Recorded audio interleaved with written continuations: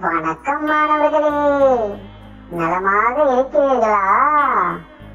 நாம் இன்று என்ன பாடம் படிக்க போகின்றோம்? ஆம் நாம் இன்று இலக்கணம் படிக்க போகின்றோம்.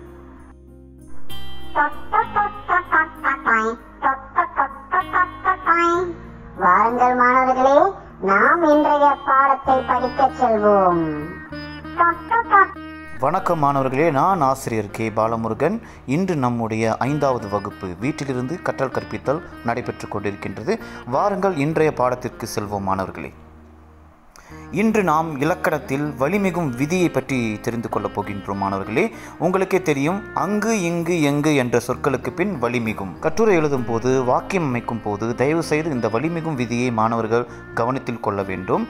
அங்கு இங்கு எங்கு வழி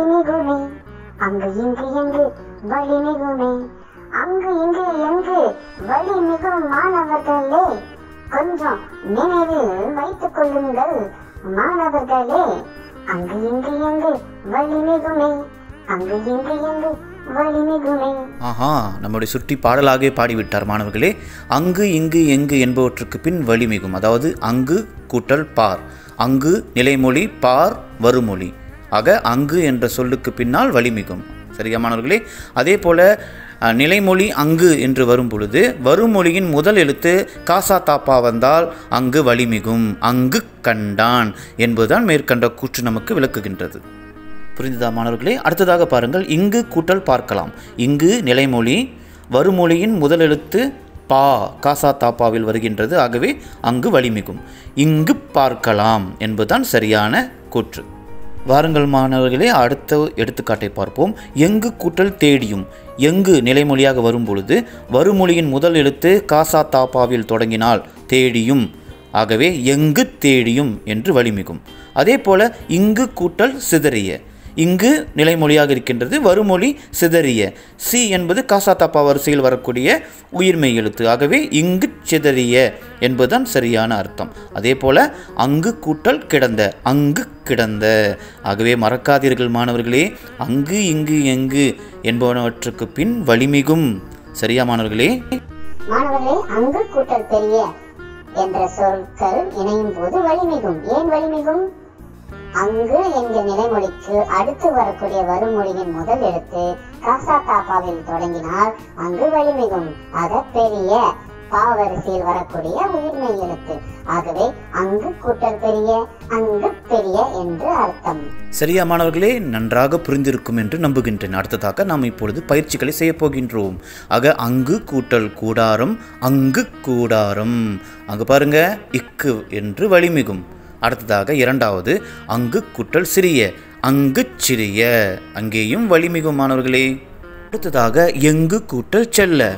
என்ன வரும் மாணவர்களே? எங்கு செல்ல? இச் அங்கு வலிமிகும். அடுத்ததாக அங்கு கூட்டல் கிடந்தது. அங்கு கிடந்தது இக் வலிமிகும். அடுத்ததாக அங்கு கூட்டல் பிடித்த. அங்கு பிடித்த கெட்டிக்கார மாணவர்கள் சிறப்பாக செய்தீர்கள். அடுத்ததாக இன்னொரு பயிற்சியை பார்ப்போம் மாணவர்களே.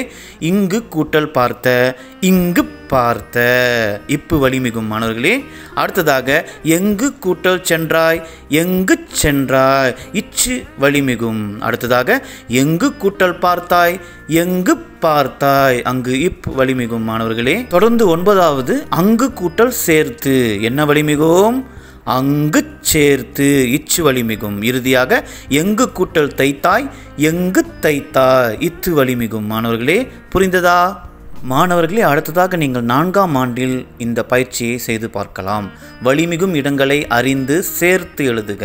ஆக இங்கு ஒரு பத்தி கொடுக்கப்பட்டிருக்கும். அந்த பத்தியை நன்றாக வாசித்து பத்தியில் உள்ள நிலைமொழி வருமொழியை இணைத்து ஒரு சொல்லாக எழுதி பாருங்கள் மாணவர்களே. எடுத்துக்காட்டாக பள்ளி விடுமுறை நாளில் நண்பர்கள் மூவரும் அங்கு கூட்டல் கூடினர். அங்கு கூடினர் என்று நீங்கள் இணைத்து எழுத வேண்டும் மாணவர்களே. ஆக இன்று என்னோடும் சுற்றியோடும் கலந்து கொண்ட மாணவர்கள் அனைவருக்கும் நன்றிதனை தெரிவித்துக் கொள்கின்றேன்.